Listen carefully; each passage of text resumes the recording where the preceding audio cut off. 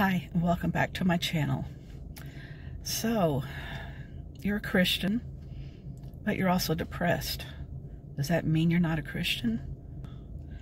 I've been depressed plenty of times, and I always wrongly assume that if I'm depressed, then I must not be a Christian. Not really. But that's not the case. It's just that this world is broken and stupid stuff happens. And a lot of times it's stuff that happens that hurts. And because we're human, yeah, we have feelings that get hurt. Or it feels like too much is going on and it's just too much and we just can't take it anymore. Yes, I know I'm not a doctor, but in my opinion, a depressed body is an exhausted body.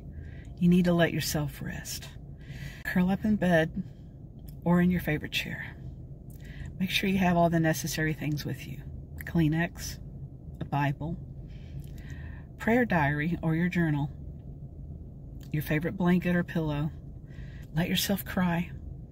Pray a lot. Read the Bible. Write a lot. And repeat.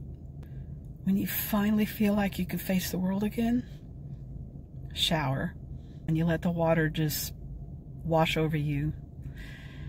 Let that feel like the love of God washing over you. As the water goes down the drain, imagine that's your depression being washed away. Lastly, when you when you head out to go to the store, lock eyes with anyone else.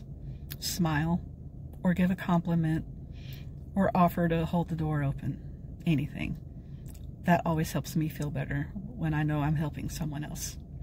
Take care read often, pray more, and I'll talk to you again soon.